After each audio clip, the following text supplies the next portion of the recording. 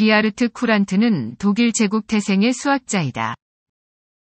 프로이센 루블리니에츠에서 태어났다. 어려서 쿠란트 가족은 크워치코, 브로츠와프를 거쳐 1905년 베를린으로 이사하였다. 쿠란트는 브로츠와프에 남아서 브로츠와프 대학교에 입학하였다. 그러나 과목이 너무 쉬워 당시 수학에서 최고의 명성을 누렸던 괴팅겐 대학교로 전학하였다. 여기서 다비트 힐베르트의 조교가 되었고 1910년 박사 학위를 수여받았다. 제1차 세계대전에 참전하였으나 입영한 뒤 곧 부상당해 실제로 많이 전투에 참여하지 않았다.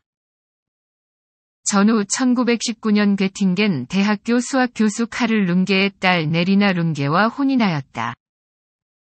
1928년부터 1933년 사이 민스터 대학교의 교수로 있었다.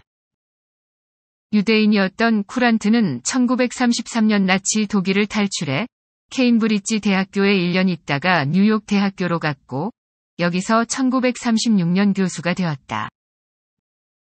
뉴욕 대학교의 쿠란트 수학연구소는 쿠란트의 이름을 딴 것이다.